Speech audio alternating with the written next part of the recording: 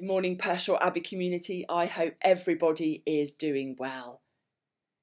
As a community and as a nation, we know just how important it is to find the time to stop and remember all those who have died serving their country in war and conflict in the pursuit of peace.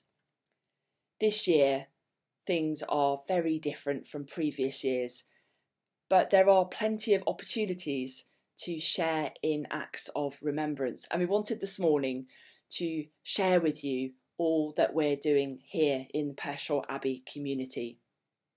We're inviting everyone to take part in the Poppy Trail. If you can decorate your windows with poppies or other items which help with remembering, that would be fantastic.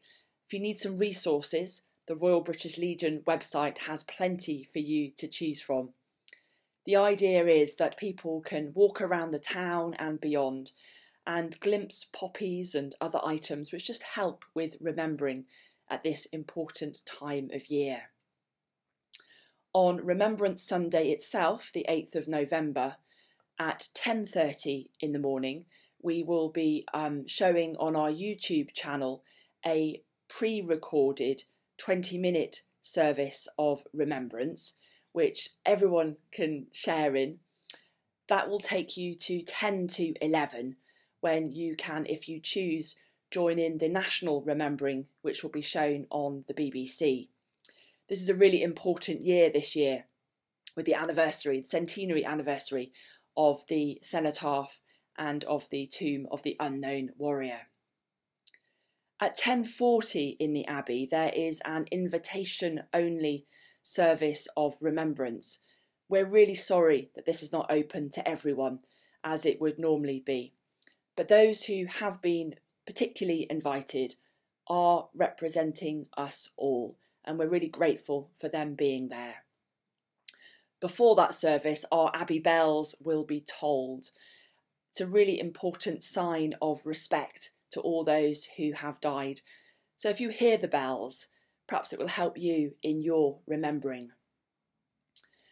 After that service, the Abbey will be open for everyone to come into the Abbey to pay their respects at the War Memorial from 12 noon onwards.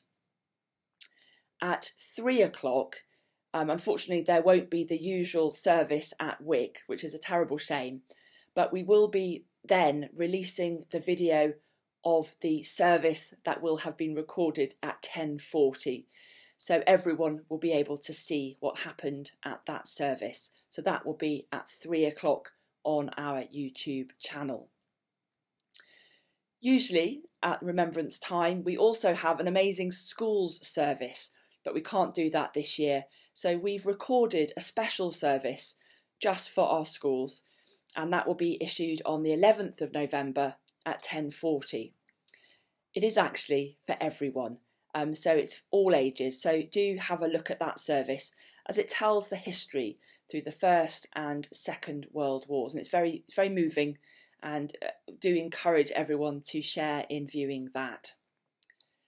We know this is an important time of year, that things are different, but hopefully all those different ways will enable us in our important remembering. O God of truth and justice, we hold before you those people who have been injured or who have died in active service.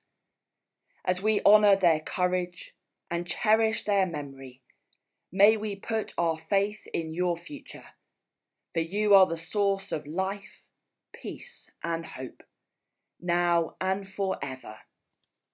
Amen.